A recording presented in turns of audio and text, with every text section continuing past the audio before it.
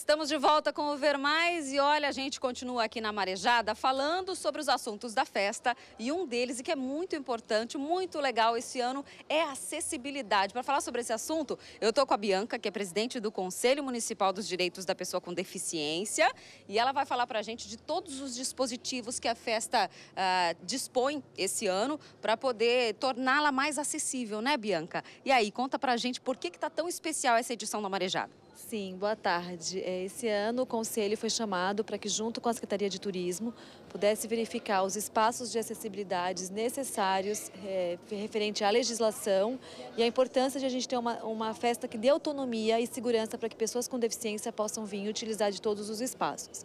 Então a gente orientou em relação às questões físicas, que quando a gente pensa em acessibilidade, muitas pessoas pensam só em banheiros adaptados, então a gente fez toda essa verificação de espaços físicos, de rampas, de estacionamentos. É, a secretaria conseguiu contratar um intérprete de Libras, coisas que não, não teve nenhuma festa anterior, para que tenha acessibilidade aos surdos participarem da festa. Então a gente tem hoje um balcão de acessibilidade recebendo pessoas com deficiência, verificando as suas necessidades. É, instituímos nos restaurantes o cardápio digital e o cardápio também em áudio para que o cego possa optar a sua escolha e ter autonomia de escolher a sua refeição. O Instituto Ellen Keller, que é o Instituto de Cão Guia, também está presente, orientando a população a não brincar, não mexer com o cão guia no momento que ele está conduzindo um cego.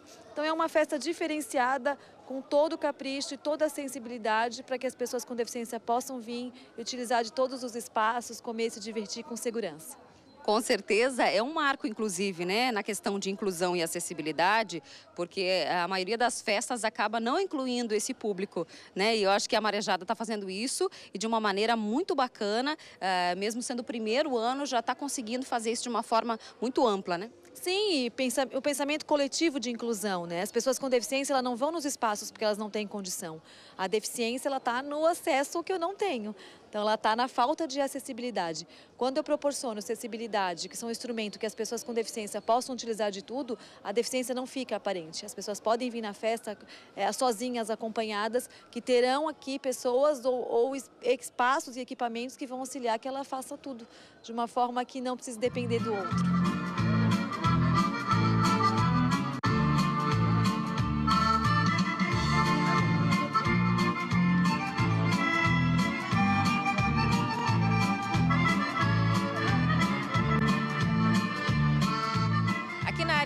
Do Centro Eventos, na parte de cima, tem uma, um espaço muito legal que tem artesanato, muita opção bacana para você que gosta, que curte ah, algumas peças diferentes, trabalhos manuais, muita coisa bonita, viu? Vale a pena mesmo você visitar e dar uma olhada nesses produtos. E tudo feito aqui pelo pessoal da nossa região. Vamos dar uma olhadinha? Vem comigo que eu vou mostrando para vocês. Tem desde trabalhos de uh, feitos em madeira, com couro, uh, peças manuais lindas, bijuterias. Tem muitas opções mesmo para você que gosta. E é um espaço para você comprar até uns presentinhos, quem sabe, né? Umas lembranças da marejada, trabalhos em tecido.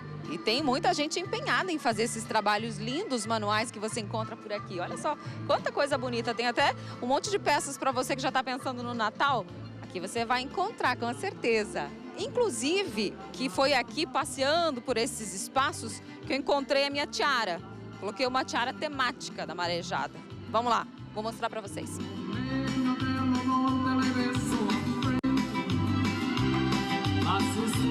Então, eu achei essa tiara maravilhosa aqui em um desses estandes de artesanato e tem várias opções, olha, para você que quer curtir aí a marejada, as outras festas de outubro, você pode trocar, fazer uma escolher, inclusive, a tiara que você vai usar. Tem várias opções lindas.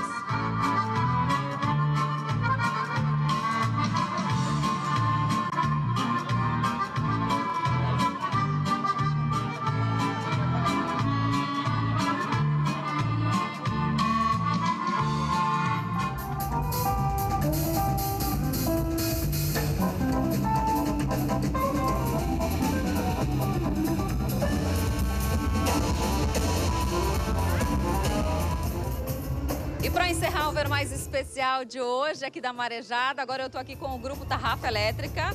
Uma galera que todo mundo já conhece, eles são a cara da cidade, da cultura. E o Evandro, que é o porta-voz, o Evandro Tchê.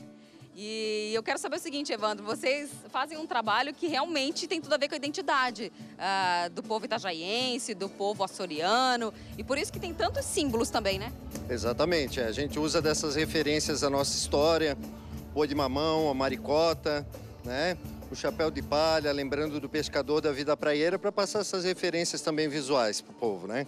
E aí, quando vem numa festa assim, que é uma festa que também é a representação da identidade da cidade, vocês também se sentem em casa, né? Ah, lógico, né? Tocando em Itajaí já é estar em casa, né? Mas tocando aqui para o pessoal de Itajaí, muita gente se identifica após o show vem falar com a gente que se identificou quando viu o boi, viu a maricota, viu as nossas canções que falam aqui da tradição do litoral de Santa Catarina. Então é muito, muito gratificante e sem dúvida nenhuma a gente se sente em casa. E como é que é o repertório, né? Como é que vocês escolhem, por exemplo, para um show, um repertório, porque eu sei que tem muita coisa, né? Exato, é, são muitas, muitas composições já do Tarrafa Elétrica, afinal são quase 14 anos de estrada, né? E a gente, nesses nesse shows da Marejada, a gente tá, já é, apresentando nosso novo trabalho, né, que é o Cardume. E composições assim, elas falam do mais variados, desde questões também que a gente vê importante no cunho social, que são as questões ambientais, né?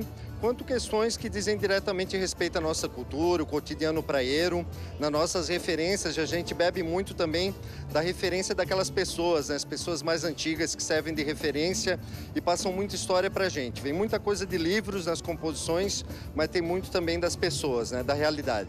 E aí vão apresentar esse povo que está aqui, todo mundo já fazendo um sonzinho de fundo, para daí vocês tocarem uma música para a gente. É isso aí, aqui a gente tem o Rodrigo, Renatão, Éder e o Icomuro Guitar. Tem mais gente da banda que não pôde estar aí hoje, a banda são sete integrantes, mas quem chegar aqui pela Marejada vai poder curtir o som peixeiro do Tarrafa. Tá certo, então podemos ir de música para encerrar esse programa. Desde já, deixa eu me despedir de você de casa, um excelente fim de semana. Obrigada pela companhia. A gente volta a se encontrar aí ao, no começo da semana que vem. Ver mais na segunda-feira de novo. Aproveite a marejada também, viu? Vou deixar o microfone com você. O espaço é de vocês. Vamos lá. Obrigado. Vamos homenagear Itajaí. Vejo sol nascendo lá na boca da talaia Tem o Jeremias, o morcego e a brava Vejo sol nascendo lá na boca da talaia Tem o Jeremias e o morcego Eu não, não saio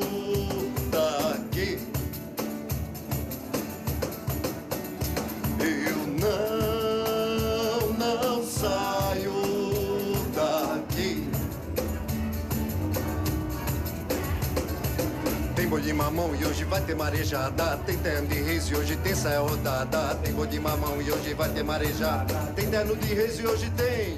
Eu não, não saio daqui.